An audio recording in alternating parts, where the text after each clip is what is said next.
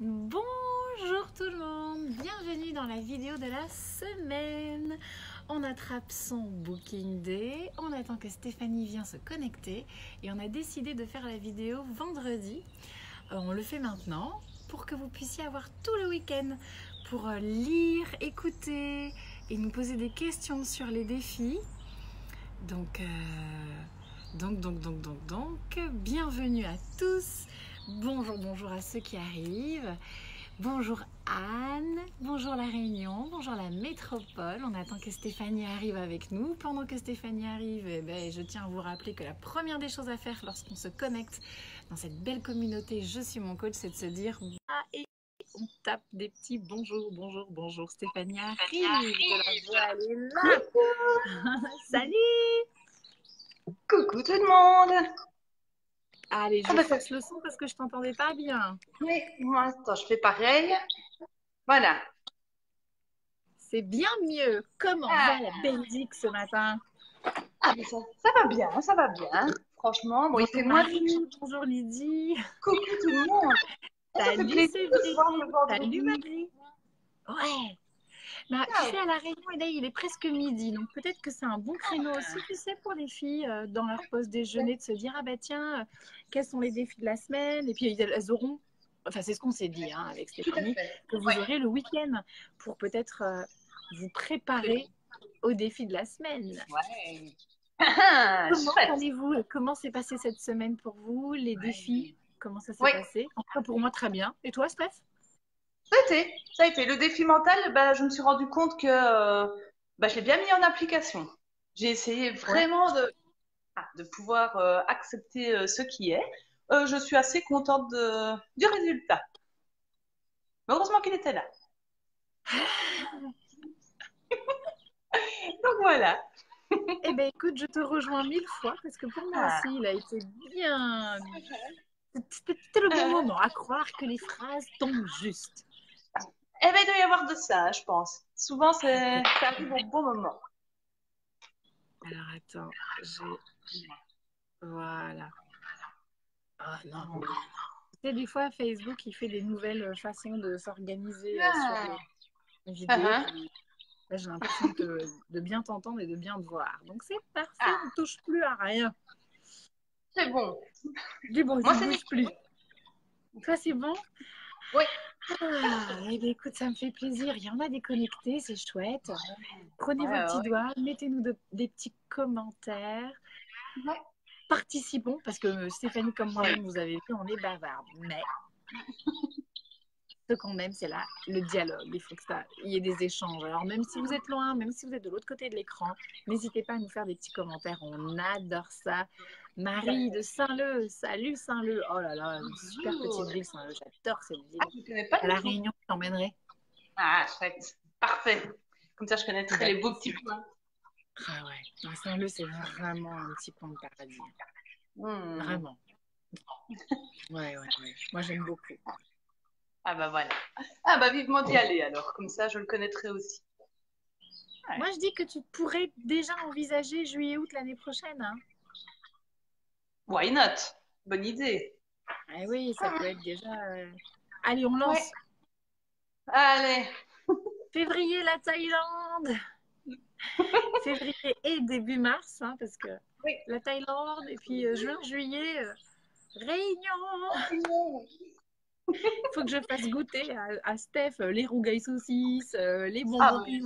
euh, les samoussas, les gâteaux de chetatyrosine. Enfin bon, il y, y a de quoi Ah ouais, faire, tu vois.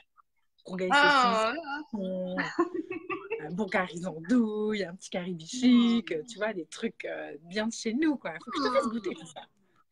Ça, c'est vrai, parce que j'ai eu que des petits aperçus il y a euh, des années et des années de ça, et ça m'avait bien plu. Hein. Oui. Donc, euh, je suis partante. Il faut savoir quand même, pour la petite anecdote, c'est que Stéphanie est belge. Bon. Et que quand on s'est Ouais. rencontrés il y a 20 ans en arrière en Belgique, et qu'elle venait à la maison, un jour j'ai fait un rougail tomate, tu vois, avec plein de piments, et tu vois, le truc bien rouge. Et puis Steph, elle fait Oh, ça a l'air trop bon et tout, machin. Et, et elle s'en prend une, mais une tartine, elle se le met Ah sur ouais, le pain. ouais. Et on était tous là. Euh, il y a du piment dedans, madame. Et ben tu sais pas, la petite belle, elle est tombée dedans et elle a adoré. Elle a une bouche faite pour le piment, elle ne savait même pas. Par contre, je me rappelle fort bien que quand tu manges trop de piment, évite l'eau. C'est pire. Ça, je, je me rappelle. Parce qu'en fait, au départ, j'avais pas réalisé que c'était autant des piments. Donc moi, toute euh, gourmande que je suis, je me dis génial, ça a piqué un peu, mais c'est bon. Par contre, effectivement, on sent où ça passe, mais c'est vrai que depuis, euh, je mange du piment, j'adore. voilà, on a une Belge en plus en mode belge, belgélino-réunionnaise. Ah, oh, j'aime bien ça. Ouais, ouais, ouais. Au moins, ah, culinairement, la demoiselle, elle aime bien, quoi. les épices. Ouf, il y a Steph qui vient manger, c'est bon, je peux cuisiner épicé. Trop bien. Non, parce que c'est vrai que c'est compliqué hein, quand tu n'as pas l'habitude de manger épicé. Tu vois, quand tu reçois, et eh ben, tu te dis mince, euh, si c'est pour que les gens le lendemain ils aient mal au ventre, euh, bon, tu vois. Mais avec toi, le problème ne se pose pas. Oui, non, non, non, ça va. Pas de souci pour moi. On y va pour nos défis? Ouais, ouais, vas-y. Envoie Allez. le steak, vas-y, en mode girl power. Alors, bon, bah, dans les défis de la semaine, bah, on va commencer par notre petite question d'introspection. Suis-je mon ou ma meilleure amie ou ennemie? Hmm. ah, Moi, j'adore cette question. J'adore parce que, euh, en fait, on est souvent étonné, on croit que euh, on est bienveillant avec soi, et puis parfois, bah, on s'aperçoit que, euh, comme on pense être bienveillant, bah, comme, comme je vais le dire platement, parfois la manière dont on se met des coups de pied au cul, par exemple, eh ben, c'est pas toujours euh, en mode meilleur ami. Donc, euh, ça peut être parfois aussi un peu trop trash ou un petit peu trop violent ou voilà, ce genre de choses. Quoi. Oui, après, je rajoute, hein, je, on, ouais, Dans, dans, la lignée, parfois, tu vois, être son meilleur ennemi. Ça veut dire que, par exemple, pour les gens qui ont du mal à passer à l'action. Ouais. Eh ben, ils finissent par s'auto-satisfaire d'un tas de trucs et de se trouver plein de raisons de ne pas passer à l'action. Ben là, clairement, tu es ton meilleur ennemi. Quand tu commences à te trouver toutes sortes de trucs à faire, genre tu sais que la semaine prochaine, tu seras en vacances et le truc que tu souhaites le plus au monde, c'est de te mhm. prendre euh, un bon bain avec de la musique et lire euh, le début d'un livre que tu avais acheté il y a trois mois et tu n'as toujours pas eu le temps de, le lire. Tes vacances arrivent, tes vacances se mhm. terminent et je te repose la question alors, tu as pris ton bain avec ta musique et tu as lu ton livre? Ah ben non, j'ai pas eu le temps. Alors, quand tu travaillais, tu n'as pas eu le temps, mais quand tu étais en vacances, tu n'as pas eu le temps non plus. Là, clairement, tu es ton tu es toi-même ton pire ennemi. C'est que tout seul, tu te mets des bâtons dans les roues pour pas faire ce que vraiment tu as envie de faire. Alors que contraire, tu es ta meilleure amie, eh bien, tu vas prioriser, euh, un peu, plus réfléchir pour te faire vraiment du bien. Parce qu'une meilleure amie qui t'enfonce, je vois pas l'intérêt à ce que ce soit ta meilleure amie. Dans ces cas-là, c'est un ennemi. Elle te tire pas vers le haut, elle te tire vers le bas. Toi-même, tu te tires vers le bas. Donc la réponse à la question, c'est que bah, je suis plutôt ma meilleure ennemie que ma meilleure amie. Oui, tout à fait. Ouais. Et parfois, ça peut être utile aussi de voir si c'est, tu vois, pour tout le temps ou s'il y a certains types de situations. Parfois, on peut être, euh, comme tu disais, toi, dans ton exemple, se faire plaisir. Bah, là, on est par exemple sa, sa meilleure ennemie parce que c'est compliqué, on s'auto-sabote. Et puis, par exemple, pour les obligations, ah bah là, parfois, on peut être sa meilleure amie, quoi. On peut être euh, la championne pour euh, se mettre euh, se renforcer. Allez, alors je fais ça, ça, ça, ça, ça, ça, ça, ça. Et hop, là par contre, euh, on se coach. Quoi. Donc là, on Je me rajoute le double. C'est ça. Voilà. Et puis alors, on a plus un post-it. Mais... les problèmes de demain déjà aujourd'hui. Voilà. Tout à fait. Donc voilà, à vous de répondre pour voir bah, de votre côté un petit peu où vous en êtes. Est-ce que vous êtes votre meilleur ami, votre meilleur ennemi ou parfois un peu des deux? Alors dites-nous hein, déjà dans les commentaires là, premier à chaud, à froid, tu vois, dès que dès que tu entends ça, passe, vas-y écris, communique avec nous comment tu te sens. Ça, c'est vrai que ce serait bien. Et que pendant les vidéos, bah, vous nous écriviez tout de suite ce qui vous vient. Après, du coup, le fait de l'avoir écrit, l'avoir lâché, tu prends tes doigts, t'écris, mhm. tu sors ton cerveau, tu le, tu le sors, permet peut-être d'être un petit peu plus au clair encore pour ensuite Mhm. euh, activer les défis de la semaine, tu vois. Tout à fait. Ouais. Ouais, Si vous n'avez ouais. pas le temps ou l'envie ou le déclic d'écrire, parce que vous n'avez pas le Booking Day par exemple, vous n'avez pas un cahier spécial où Ouais. vous écrivez vos défis de la semaine et vous. Et puis pour ça, il faut le faire. hein. L'écriture, encore une fois, c'est hyper important. Important. Oui. Et ben faites-le au moins là avec nous. Jouez le Mhm. jeu là. Oui. Tout à fait. Parfait. On continue? Donc je vois que- je vois qu'il y a Marie qui dit il y a du boulot. Ça va aller, Marie. On est là pour ça et le Booking Day et le livre sont là pour ça. Donc, euh, tracasse. tu, on, on est chez, on est dans le livre, on est dans ton agenda et on est dans ta, dans ta télé. Je veux dire, à un moment donné, tu vas y arriver quand même. Oui, Excellent. Il te manque juste un petit livre, de quoi écrire et c'est bon. Ah ouais. Allez, on commence Allez. à prendre, euh, à travailler pour soi. J'ai- J'aime bien dire ça comme ça. Travaille pour toi. Mhm. Ouais. Ah, c'est une belle expression, ça. Travaille pour toi. Ah, je dis ça tout le temps. Ouais. Ben, Travaille ne- pour- euh, la version 2020. Eh, Travaille pour toi. Hein? Mhm. Ok, Ok. message reçu. Ça m'étonne pas de toi. J'ai déjà prévu 2022 si tu veux. Je suis, je suis... Bon, on ne sait pas dans, où on sera en 2022. Hein. Ça? Eh, J'ai des petites idées, moi, quand même. hein. Il y a une petite croisière Ah. aux Caraïbes qui se prépare. Euh, je, compte bien qu'elle, euh, je compte bien que ce soit pour 2022, moi. 2022, Ah. croisière, je suis mon coach aux Caraïbes. 300 personnes Ouais. sur un bateau, à vibrer que du positif et on va tout exploser comme ça. Enfin, ce n'est que un de mes rêves, un de plus. Ouais. Ça, ça, tu n'as pas de souci pour en créer des rêves. Ça, je te fais confiance. Exactement, exactement. Et puis j'ai même un- une, une, une copine qui, qui j'adore cette phrase quand elle dit ça, je dis ah mais tu as tellement raison. Elle dit de toute façon tout ce que Axe veut, Dieu veut. Pas mal. T'as une connexion directe. ça. Tout à fait. C'est beau ça. Ah ouais, c'est beau. Et je, et je lui dis mais pourquoi tu dis ça? Elle me dit bah parce que ce projet là, tu m'en as parlé il y a un an et regarde ça y est c'est fini, c'est fait. Ah, Ah oui. Elle me dit non mais de toute façon, tu vois genre Ah, il suffit juste de planter la graine et puis ah, Et ça germe. Ah. Ouais. Allez, continue Donc, à planter. Arroser, arroser la croisière. Ouais, chin chin, santé, ouais.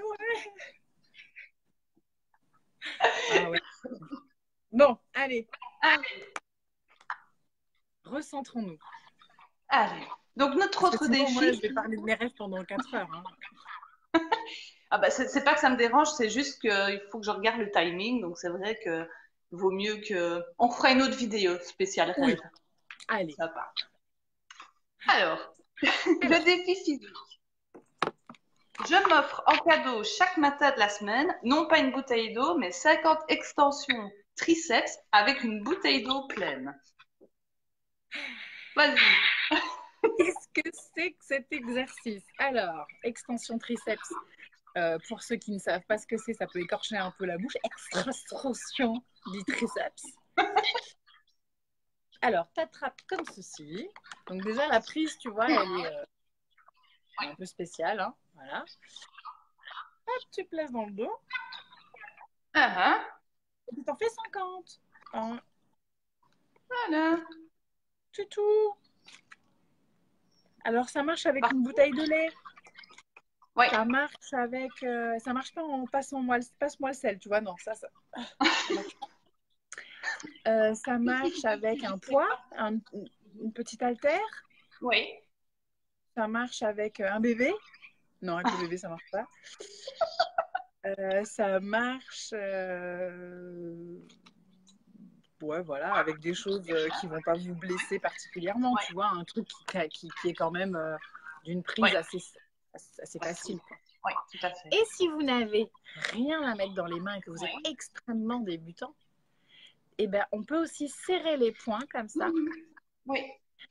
exercer une pression entre les paumes de main Mais alors attention, exercer la pression pendant tout l'exercice sans jamais relâcher la pression. Et là, tout d'un coup, ça devient difficile parce que tu sollicites les muscles internes, les muscles profonds du bras, parce que tu exerces cette fameuse pression. Donc les muscles vont se resserrer autour de l'os. Et je peux te dire que les 5 ans, tu les sens passer. Hein tout à fait en appuyant, vraiment en, appuyant comme ça, tu vois, en appuyant, en appuyant.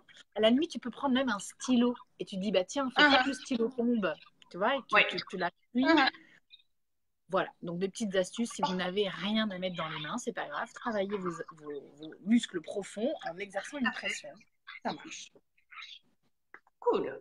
Merci. Et puis ça fait cool. transpirer, donc tu as oublié de le faire le matin, tu peux même là le faire au bureau, t'es 50, et voilà c'est bon pour, tu sais, travailler le, les, les ailes de poulet. Alors, pour pas ressembler à un dindon, tu fais des extensions Moi, j'appelle ça les, allez, les ailes de chauve-souris. Ah Oui, mais c'est déjà plus joli. Que les ailes de poulet, c'est vraiment moche. Ouais. Ouais. ouais, ouais. Ouais, c'est vrai. Enfin, voilà. Pour pas ressembler à un poulet ou à un dadon, faites l'exercice. 50 tous les matins. Et l'idée dans le Booking Day, c'est de vous, vous donner des exercices différents chaque semaine mhm. Pour que, tu vois, même si tu fais pas de sport, bah, que tu gardes quand même un entretien général. Un peu les bras, un peu les abdos, un peu les jambes, un peu le dos. Et voilà, on, passe en revue tout le corps, tranquillement tout au long de l'année. Et comme c'est quelque chose de répétitif toute la semaine, euh, 5 ans toute la semaine, je te promets oh. qu'à la fin de la semaine, il y a un changement sur tes bras. Vraiment. Hein. Mmh, tout à fait. Ouais. Il se passe vraiment quelque chose. Donc, si vous voulez, au moins, on vous donne des solutions pour rester en, en forme. Quoi? Ouais.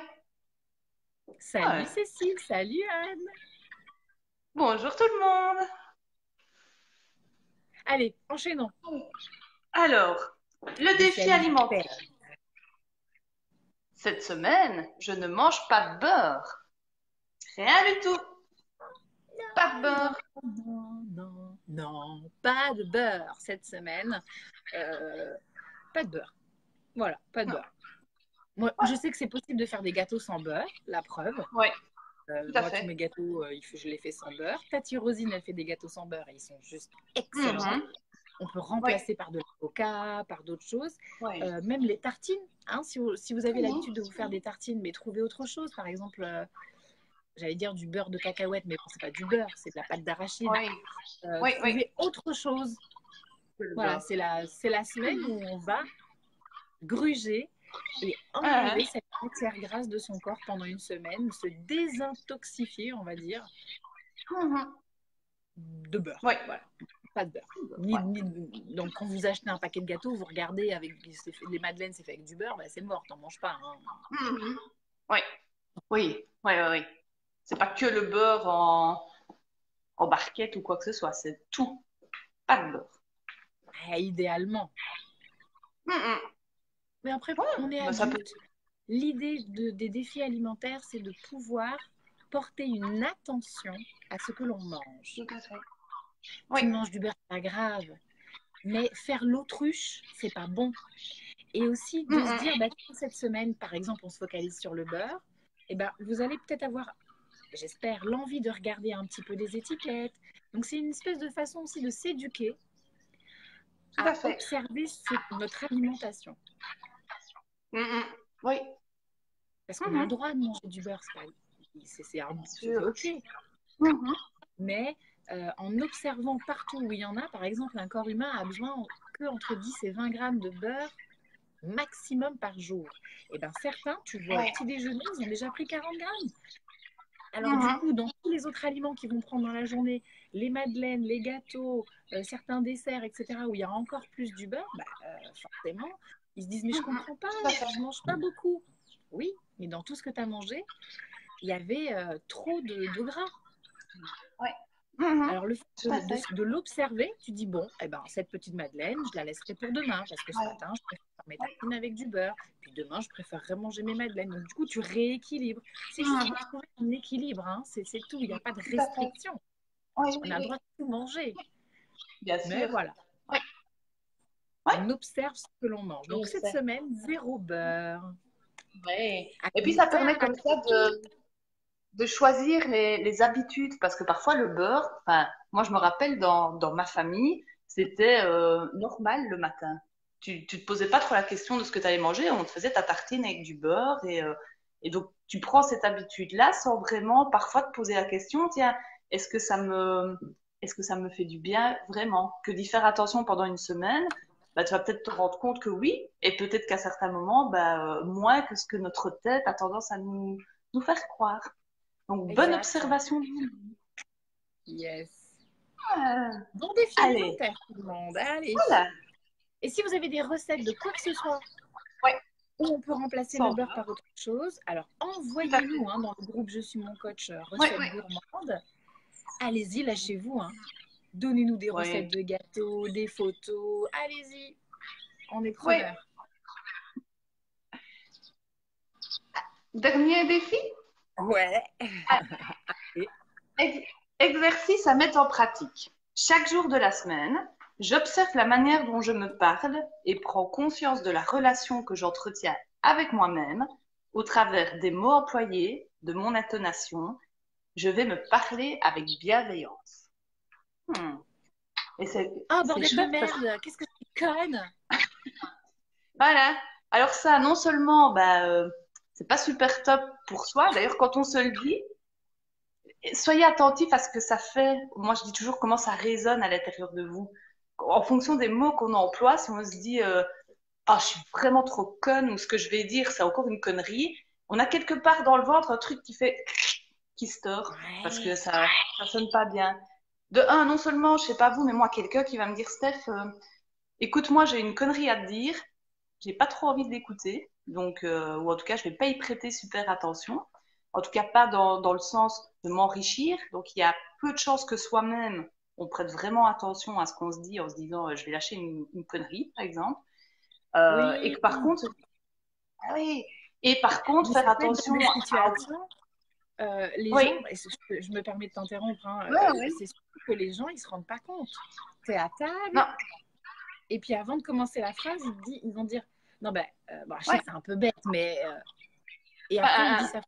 Commence pas en disant bah, Je sais que c'est un peu bête, mais ce que je vais dire, mais ouais, ouais, te dénigre pas avant d'avoir ouvert la bouche. c'est- Enfin, genre, bref, je te tout rejoins. à fait. Ah ouais, clairement. Et, et de se dire que c'est vraiment de veiller à se parler pour qu'à l'intérieur de nous, ça nous motive, ça soit moteur et positif. Voilà, si on se dit, euh, euh, on rate quelque chose, bah, au lieu de se dire, ah, encore une fois, je suis trop conne, j'ai raté mon gâteau, bah, euh, autant se dire, ah, bah, tiens, la prochaine fois, je ferai, euh, je ferai mieux, je ferai plus attention à la recette, mais en attendant, bah, je suis contente, quoi, j'ai fait mon gâteau. Là où je l'aurais peut-être pas fait, euh, les autres fois. À l'intérieur, c'est quand même moteur, ou sinon, on se dévalorise et on s'empêche d'agir. Ouais. Il y a un truc qui me vient là, tu vois, sur cette façon de, parler euh, tout de suite à dire euh, ah, ce que je vais dire, bon, c'est, je, je sais, c'est un peu bête, mais bon, voilà, je te le dis quand même. Ça, me- tu vois, en disant ça, ça me fait penser qu'il y a des personnes qui ont été malheureusement éduquées Mhm. et ils ont une croyance que ce qu'ils, dit- ce qu'ils vont dire, c'est bête. Ouais, ouais, tout à fait. parce que euh, ils ont euh, eu une éducation qui a été un peu rabaissante ou en tout cas on les a pas valorisés Oui. euh, ou voire même on a dit ouais non mais toi t'es un enfant tais-toi quoi tu vois Ouais, Euh, tout à fait. ok si jamais c'était le cas quand vous étiez petit ou enfant ou adolescent peut-être que c'est vrai hein, on va savoir c'était peut-être vraiment bête ce que tu disais à fait. mais t'as plus 15 ans maintenant t'en as 40 Ouais. donc fait. ne confonds pas ton passé et ton présent. Là, aujourd'hui, Ouais. à 40 ans, quand tu as un truc à dire, euh, tu vas pas Oui, commencer avec ton interlocuteur, donc avec Stéphanie, qui est même pas ta mère, à dire bon, mais peut-être c'est Ah. bête hein, ce que je vais dire. Bon, déjà, c'est, elle a le même âge que toi, euh, elle a aucun pouvoir Ah. de jugement sur euh, ce que tu vas dire. Donc, sens-toi libre de parler et de dire Ouais. les choses sans te sentir bête. Tout à fait. Enfin, Moi, ce que je madame, propose, ressaisis-toi. moi, ce que je propose parfois comme exercice, c'est si vous identifiez qu'il y a euh, une phrase comme ça, type qui ressort, genre c'est bête ce que je vais dire, et ben en fait vous mettez, vous prenez une feuille, vous faites deux, vous tracez un trait, vous avez deux colonnes. Vous mettez les, phrases, enfin vous les notez, celles qui viennent et qui sont plutôt dévalorisantes. Et vous posez la question, tiens, ça me vient d'où? Parce que comme tu le dis souvent, toutes ces voix-là, elles viennent de quelque part d'extérieur quand on était petit. Et puis dans l'autre colonne, c'est vous. Et eh ben alors en fait, vous prenez votre bic et vous écrivez, vous reformulez la phrase pour que ce soit OK pour vous. Comme ça, on travaille sur la démonter la phrase, tu vois. Oui, faut la démonter, faut la déstructurer. Ah, la détruire pour reprendre ton La détruire. tu l'aides, et puis tu mets en mode destruction. Et puis vous reconstruisez une phrase bah, qui vous correspond à vos baskets de maintenant, plus d'avant. Et ça, c'est un petit truc oui, qui le Coin, coin, coin. Ouais, mais chute, quoi. En fait, ils sont d'accord avec nous. Hein. Il doit y avoir Stéphanie et, euh, et Axel dans le coin là-bas. Pour leur truc.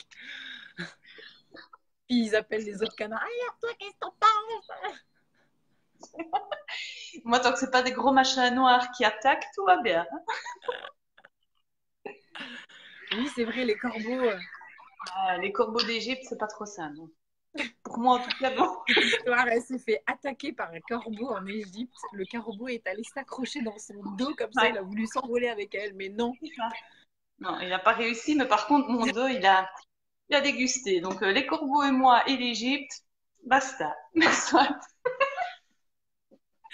et moi, ça m'a pas du coup. Donc voilà pour. Euh, on s'arrêtera à la Thaïlande. Voilà, c'est pas mal. Moi, ça me convient fort bien. Les petits aigles qui tournent au-dessus de Copenhague, ça me va. Pas besoin, de corbeau. Il y a des aigles, c'est bon.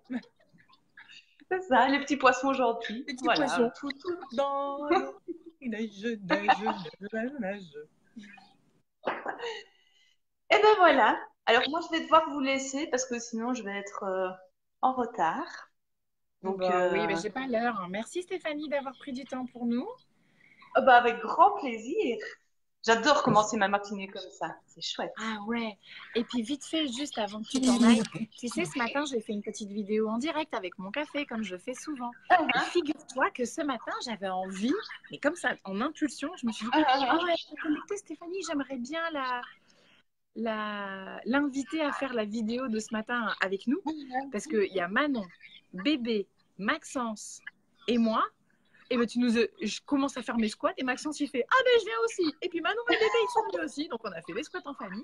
Et je me suis dit ah oh, ce serait trop bien que Steph elle vienne avec nous et tout. Donc je t'ai cherché, bon tu devais pas être connecté. Et, uh donc mon impulsion ce matin c'était ah j'aimerais bien faire une vidéo avec toi. Et hop tu m'envoies un message et tu me dis eh, si tu veux, je suis prête pour 9h30. Ah yes Tu vois? Tu vois tout ce qu'Axel veut. Dieu le veut. bah, c'est bien tout ça. Ah là là, cette chance. Bah, je suis bénie. Merci d'être mon amie, ma copine. je t'embrasse. Toutes les filles qui sont connectées, on vous embrasse, on vous envoie plein de girls power. Il y a des garçons qui sont connectés, on vous fait un petit coucou, hein, les gars. Vous êtes les meilleurs. Si vous êtes là, c'est que vous êtes les meilleurs. Ouais. Voilà, tout est dit. Ah, ah. Les filles. Girls power, yeah. Et puis plein de bisous à tout le monde. Ciao, ciao. Belle journée. Oui, toi aussi. Ciao. Bisous,